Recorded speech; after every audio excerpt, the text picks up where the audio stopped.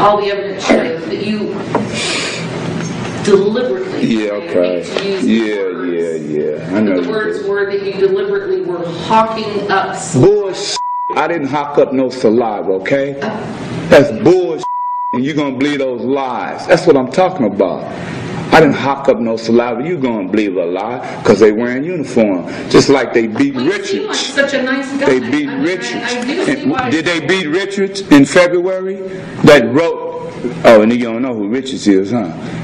February 15th, that rogue ass Diaz beat the man, fractured his jaw, put him in the hospital on life support. You remember that? They, they doing, he's doing such a good job, isn't he? Diaz, wearing a uniform, right? Rogue ass deputy. Look at me. Just I'm like part of Eagle. this. You ain't gotta scream at me.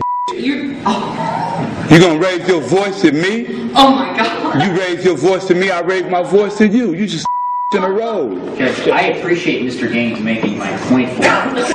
You punk, Very well received. maggot mother. And I don't, I don't think I have to take insults from I know.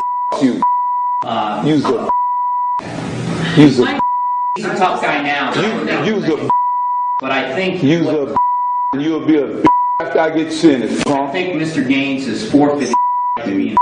And he's put his. I'm ready to go. I'm ready to go. I'm I- you punk. I'm talking. You, Take out of the courtroom. you's a maggot. Yeah, you're a tough guy. You's a maggot, punk. You should have died when you was a baby. Yeah. Maggot. Anytime, Mr. Gaines. Shut up, punk. You's a maggot. Should have died when you was a baby. Still born.